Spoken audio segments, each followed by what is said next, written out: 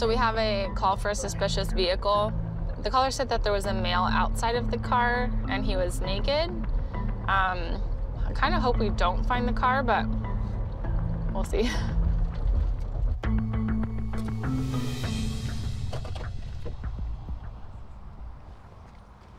Where do you guys live at? Yeah, he's naked. Hey, bud. Hey, You have any weapons on you or anything? no, I don't. Where's your pants? Uh, they're in the front. Okay. Why aren't you wearing any pants? Um, it was a crazy night. I can imagine. You don't have any weapons, right? No, I do not. You guys are crazy, man. There's no nothing going on bad. Like we're just trying to get some stuff on before I go home, man. I'm trying to cheat on my wife, all right?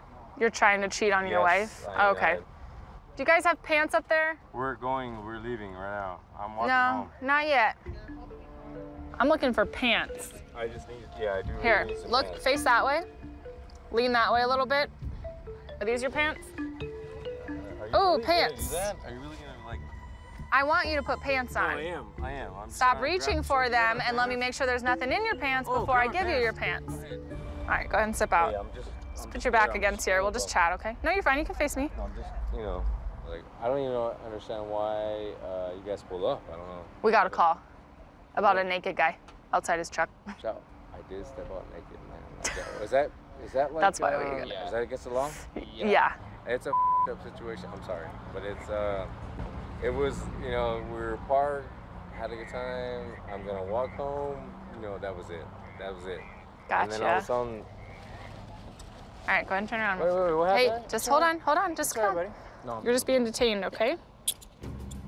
We got a return that he had a felony warrant out of California, and the warrant said it was um, extraditable, which means they will come get him from California. It was a warrant for fleeing a police officer with causing an injury. Um, mandatory apprehension is requested. I hope you guys let me go, man. This is a really up situation, really. All right. It was an odd call, but you know, I'd, I'd like to get him before some little kid saw him, you know, because that's that's not ideal.